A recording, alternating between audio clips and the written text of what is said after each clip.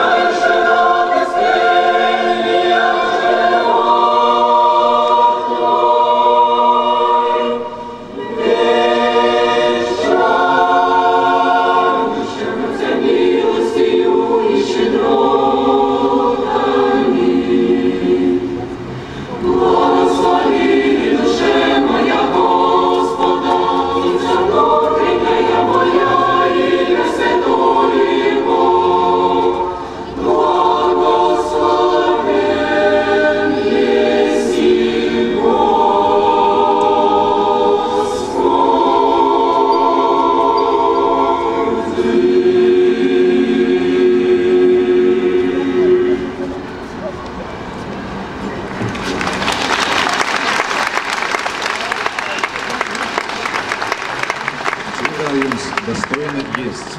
Виспирс престер Петр Даниилов Абдерен.